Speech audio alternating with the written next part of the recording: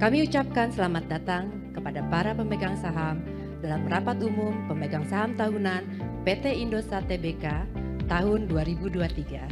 Perlu kami informasikan bahwa rapat ini diselenggarakan dengan tetap mematuhi protokol kesehatan.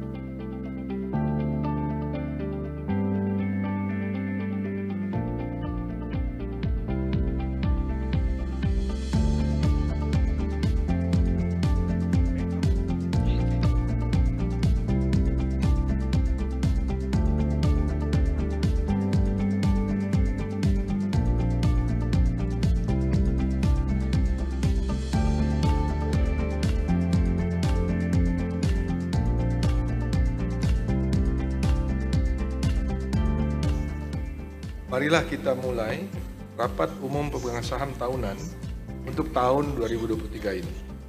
Dengan ini, saya nyatakan rapat dibuka dengan resmi pada pukul 14.15 waktu Indonesia bagian Barat. I am pleased to share that 2022 was the first year of our operation as Indosat Ooredoo Hutchison following the successful merger with PT Hutchison 3 Indonesia.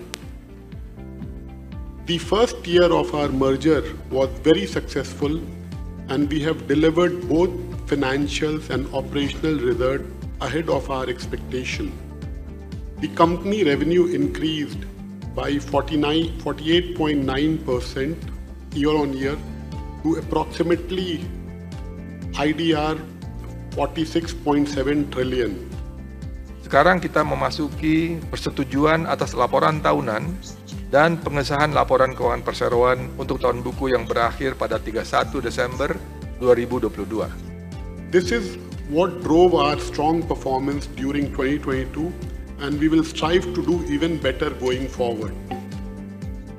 Untuk mata acara pertama, kami mengusulkan agar rapat memutuskan pertama, untuk menyetujui laporan tahunan perseroan termasuk laporan pengawasan Dewan Komisaris untuk tahun buku yang berakhir pada tanggal 31 Desember 2022. Kedua, mengesahkan laporan keuangan perseroan untuk tahun buku yang berakhir pada tanggal 31 Desember 2022 yang telah diaudit oleh Kantor Akuntan Publik Tanung Direja, Bibisana, dan Rintis berdasarkan laporan mereka pada tanggal 12 Februari 2023. Dan ketiga, memberikan pembebasan dan pelunasan sepenuhnya kepada para anggota Dewan Komisaris dari tanggung jawab atas tindakan-tindakan pengawasan dan para anggota direksi dari tanggung jawab atas tindakan-tindakan pengurusan perseroan sepanjang tindakan-tindakan tersebut tercermin dalam laporan tahunan dan laporan keuangan perseroan untuk tahun buku yang berakhir pada tanggal 31 Desember 2022 serta tidak bertentangan dengan ketentuan peraturan perundangan yang berlaku. Selanjutnya, untuk mata acara kedua ini, maka kami mengusulkan agar rapat memutuskan untuk menyetujui penggunaan laba bersih perseroan untuk tahun buku yang berakhir pada tanggal 31 Desember 2022 untuk didistribusikan sebagai A. Dividen tunai dari laba bersih tahun buku 2022 sebesar 2 triliun 61 miliar 627 juta 746 ribu 488 rupiah atau setara dengan 255,7 rupiah per saham yang akan dibayarkan paling lambat pada tanggal 15 Juni 2023. B. Sisa laba bersih tahun buku 2022 sebesar 2 triliun 661 miliar 786 juta 822.147 rupiah dialokasikan ke saldo laba yang ditahan dengan rincian sebagai berikut 26 miliar 807 juta 982.558 rupiah sebagai saldo dicadangkan dan 2 triliun 634 miliar 978 juta 839.589 rupiah sebagai saldo laba belum dicadangkan.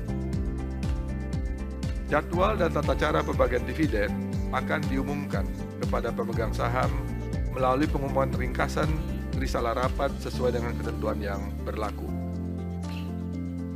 Para hadirin yang kami hormati, untuk mata acara keempat, yaitu pemaparan dan pembahasan persetujuan atas penunjukan akuntan publik perseroan untuk tahun buku yang berakhir pada tanggal 31 Desember 2023. Marilah kita memasuki pemaparan dan pembahasan mata acara kelima, yaitu persetujuan atas perubahan susunan direksi dan atau Dewan Komisaris Perseroan.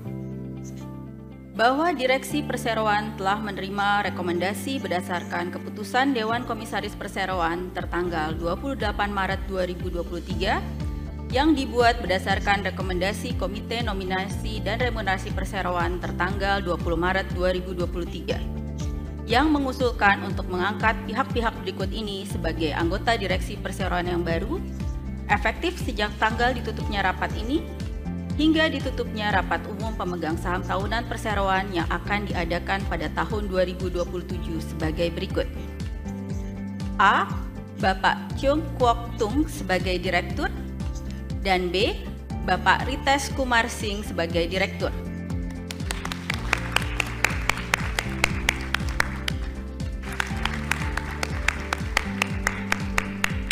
Bapak Arman Hermawan sebagai Direktur Perseroan akan digantikan oleh Bapak Ahmad Zulfikar. Buka kesempatan kepada para pemegang saham dan atau kuasa para pemegang saham untuk mengajukan pertanyaan sehubungan dengan mata acara rapat sesuai dengan tata tertib rapat yang telah kami umumkan dan sampaikan pada awal rapat. Pertanyaan pertama dari Bapak Hendra Untung uh, pemilik dari 20 lot saham Seri B. Uh, mohon bantuan Bapak pimpinan rapat untuk membacakan pertanyaan, Pak. Ada di Ada empat pertanyaan dari Bapak Hendra Untung. Terima kasih. Beberapa pertanyaan ini kami minta bantuan dari Pak Fikram bersama tim untuk bisa memberikan uh, jawabannya. Terima kasih. Thank you for asking uh, these important questions. Let me start by sharing the philosophy of Indosat Ooredoo Hutchison. One, Indosat want to be an asset-light company as IOH. Having said that, we have a very strong shareholder, but at IOH level, what is important is we have an asset-light policy.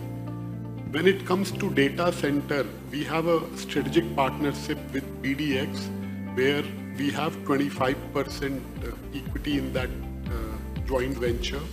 More important is data center is very important for Indonesia and that is why we wanted to enable this by getting the right partner and also bringing the right expertise. So, so we will work with our partner and, and we are not exclusive to them. We are open to work with more partners when it comes to enabling data center and what is needed for Indonesia. Bagi para pemegang saham atau kuasanya yang sah untuk melakukan pemungutan suara untuk seluruh mata acara selama maksimal 10 menit dengan mekanisme yang telah disebutkan pada pembukaan rapat tadi, yaitu pemungutan suara bagi pemegang saham yang hadir fisik. Pemegang saham dapat melakukan pemungutan suara dengan melakukan pemindaian barcode yang telah diberikan pada saat pendaftaran atau melakukan pemungutan suara pada bilik pemungutan suara dengan memasukkan username dan password yang telah disediakan oleh perseroan. Bapak dan Ibu hadirin sekalian, waktu untuk pemungutan suara kami nyatakan ditutup. Terdapat pemegang saham dan atau kuasanya yang mewakili lebih dari 2 per 3 bagian Jumlah suara yang dikeluarkan secara sah, termasuk pemegang saham seri A, telah menyetujui usul keputusan mata acara ketujuh rapat ini. Demikian Bapak Pimpinan Rapat.